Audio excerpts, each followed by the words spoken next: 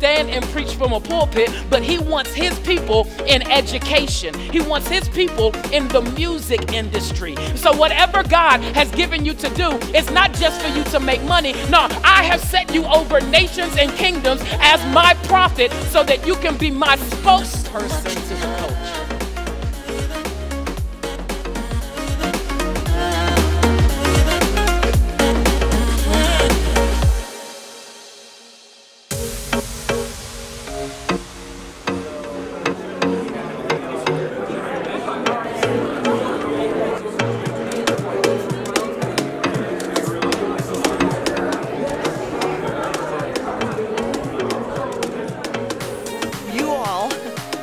will become part of the actual answer to the, the prayer that we all pray regularly about the kingdom of God coming on earth as it is.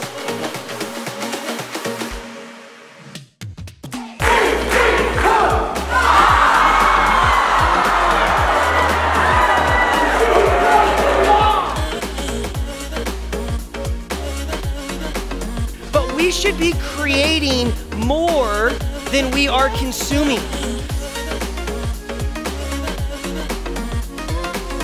Create a place where everyone can do the deep work of developing their minds, discovering their gifts, and discerning their callings.